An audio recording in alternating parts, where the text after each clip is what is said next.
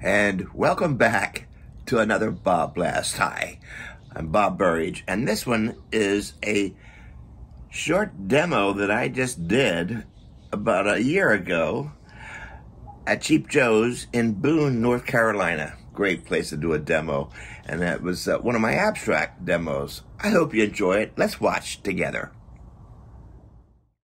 Start off with just black and white, all right, this morning, and midtone. So I have my papers that I Xeroxed, make my own, there's some typography, I make my own lines. You can go buy artwork from books and art stores that already have the pattern, but the problem is that's somebody else's pattern. And now if you all use the same patterns from the same books that the art store provides for you, they're all gonna look the same. So now I have, I make my, even my own checkerboards. Sounds boring, but that's all I do.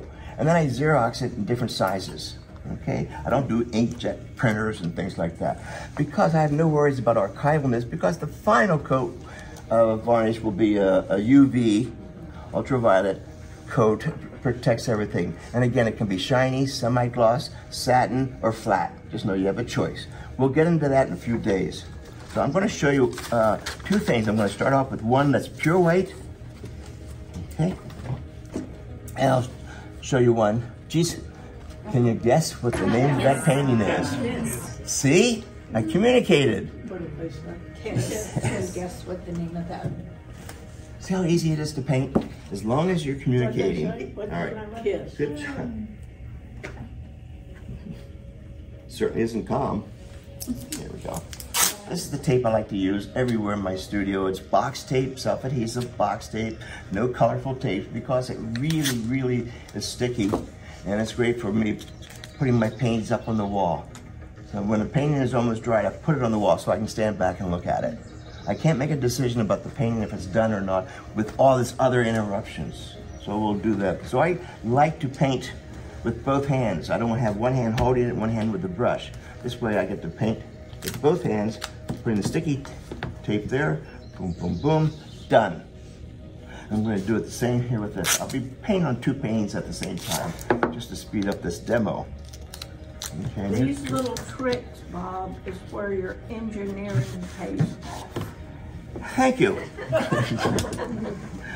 I'm not going to argue with you on that one. There are no tricks. but we hear you. Okay. So this one I'm going to get started. We always start off with a mid-tone. Mid-tone like this. I just take white and black, mix it all up, and I start off with a mid-tone. What does that word mean? Thank you so much. Watch this. I'll do it this way. I'll do it on this. Mid-tone? Mid-tone. It's not dark, it's not light, it's in the middle. In the middle. So here's this color. Darkest it's ever going to be. Right? Here's the lightest that color's ever going to be. You don't even see it. Here's the mid-tone. Okay. Oh, you said mid-tone. Um, I thought you were saying sorry. another word, sorry. Sorry.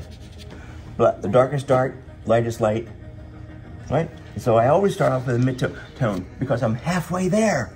All I have to do is worry about or be concerned about my black and my white. You're already there. You already have ownership. I have my DNA all over this. And just wipe it on. Don't mix it up so neat. This is not engineering. All right. So uh, I will get started. Here's my water. Big wide brush. Always wet the brush first. Don't put a dry brush in your paint because you want it to flow off. You want it to flow off really beautifully. So I'm going to mix this all up. Here's my mid-tone.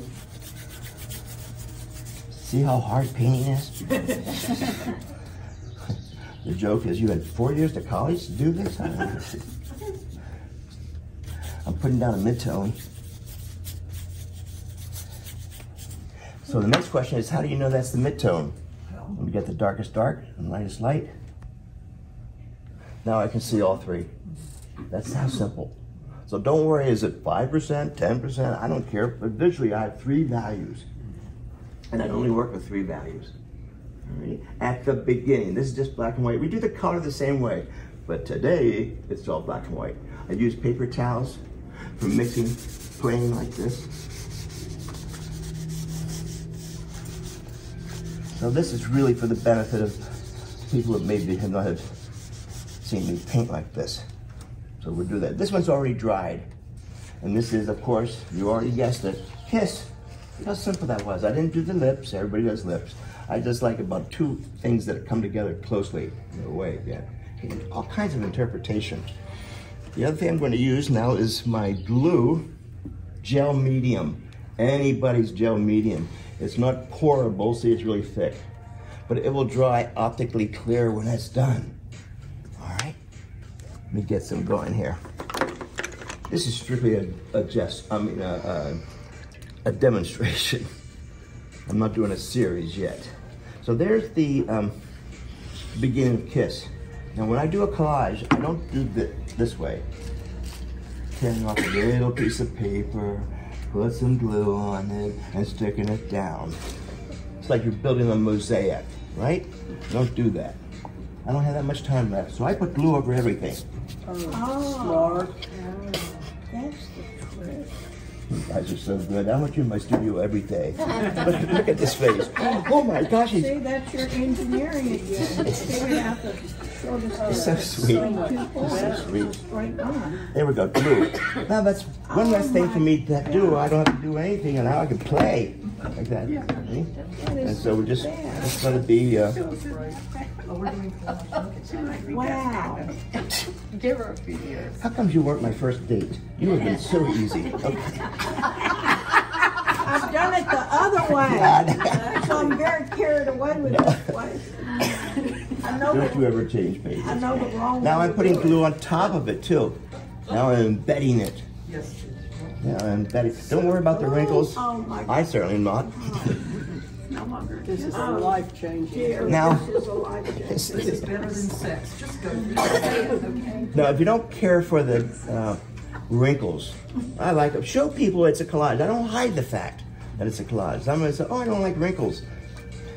It, I love that process, more texture. And I love these new products. It's kind of somewhat new. It's like a silicone. No paint sticks to it. I peel it right off. And it comes with different kinds of striations and some have looks like a comb. This one I'm just, all I'm doing now, is really embedding this into that. And now, and now it will look like a print. Oh, he's good. So, That is too cool. They're so good. Now here's one's already been dried. I'm going to see if I can complete the whole thing. Uh, basically, I'm just showing you some techniques. So here's the glue. Putting it everywhere. This is like being back in first grade again. I've never left. Glue everywhere. You see why I say nothing else on your table. Just what's going to serve you for this painting. There we go. Nice and sticky. Here's the first piece. This is very improvisation. That's why I like improv jazz. You know.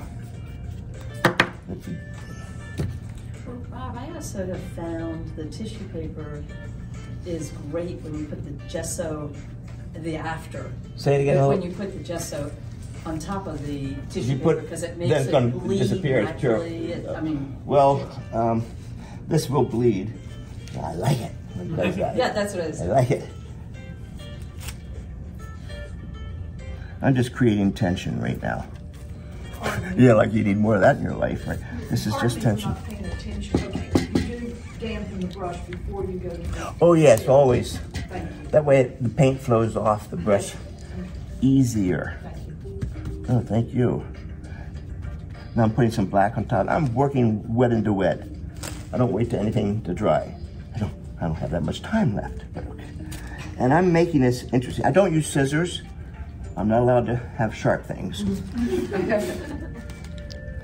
Is there a reason you don't use scissors? Uh, because I like the serendipity-ness of this. If you have to be sure of the end result, don't be a painter. Be a brain surgeon. We like those people. But if you already know what it's going to look like, why do it? This is discovering painting for yourself. Say, wow, I didn't think I had that in me on and on and on. So this one already had glue all over the place. Let's put a surprise in here. I like the ragged edge, really, is the answer to that question.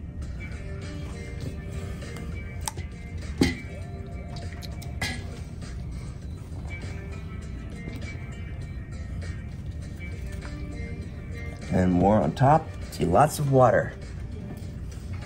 That's the whole idea of this. Look, paper towel. I love paper towel. I love the color. It was just sitting there waiting for me. I don't plan it all out. Here. And then I like to wipe it away. Just because it's down, you don't have to keep it there. If it's not working, it's not working. A white in here. I like to take my brushes and extend them. That way I, I'm not, I don't hold my brushes up here. And that'll tighten up really quick. Well, I'm having fun now. so I take a brush, a normal brush. Unfortunately, all the brushes are narrower at the end. The handle is in the wrong place. It should be over here. It's easier to hold. But every, and that's why you all hold your brushes up here. It's easier to hold, but no, what do they give? They give us these spaghetti things to hold, and your hand's gonna end up looking like this at the end of the day. So I do fatten up my handles with anything that'll make my handles fatter. Basically tape. Not a pretty sight, but boy, are they ever comfortable to hold. Got it? Got it. So this one, and also by extending them, I got the idea from Henri Matisse. I didn't make this up. There's this famous photograph of him having some uh, health issues, in bed. He's got that 10 foot stick drawing on the wall. And that's when the light went on for me. Aha! So I went out and got all my brushes and stuck twigs on them and bamboo sticks because it already has the hole in them, right? Clever, hey? And now I'll come back, even the wet and the wet.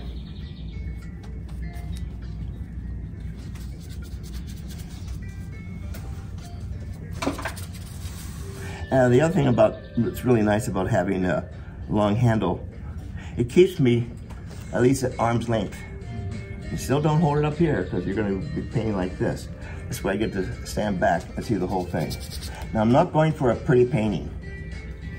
I know, we, we noticed that Bob is not a very pretty painting. That's not what my demo here is all about. Just showing you all the different techniques and things. Whatever you do, it's legitimate. Okay, don't be questioning. Don't ask anybody else, is this the right thing to do? Don't ask them. Well, I hope you enjoyed that. It was fun for me. Now you know how much fun I have at the workshops there at Cheap Joe's in Boone, North Carolina. They're great fun for me. Well, I'll see you at the next Bob Blast.